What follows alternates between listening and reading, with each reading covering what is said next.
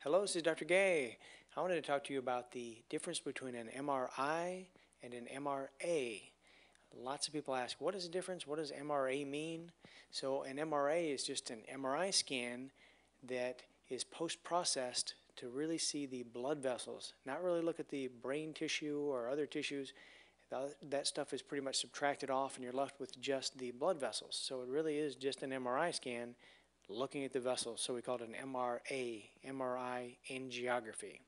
So on a typical MRI, here we go on the left-hand side here, we see the brain parenchyma. We really, we really don't see the blood vessels very well. When they show up, it's right back here in the middle, there's a little dark black triangle. This is flowing blood in a dural venous sinus. Anything flowing, typically on MRI, is just black, invisible. Back over here, we see a couple blood vessels in the very back here. This round dot, little round dot here. These are the vein and artery, of the popliteal region, and you see how they're just black because there's no signal. Because the blood is flowing out of the plane and it doesn't give any signal.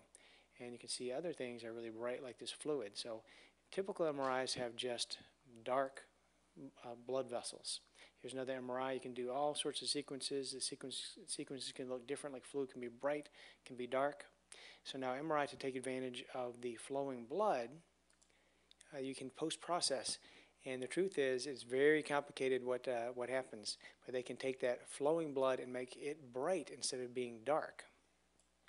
And we do the post-processing, like on the left here, we see an MRI of the brain. All the brain parenchyma is invisible. The only thing we're left with is the blood that is flowing. So here we go. These are the blood vessels. This is an MRA, looking at the arteries, and the brain parenchyma is just invisible. Here's one of the neck on the left-hand side here. You can see the blood vessels of the neck going on up. Here's the brain, neck, chest area. And a CTA and MRA are very, very similar. Similar as CTAs is a CT scan where they subtract everything off and we are left with just the flowing blood vessels. And they look really, really similar to one another. And I'll finish with a little example here. This is a view of the abdomen. The abdominal aorta is coming down here. This is an MRA. And everything's subtracted off except for the things that have contrast. So this is contrast within the abdominal aorta. We gave contrast and the densely opacified aorta shows up as bright. You can see the blood vessels coming off here. And look over here, there's a little round ball.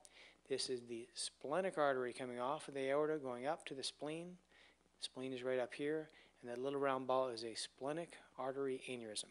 So, thank you very much.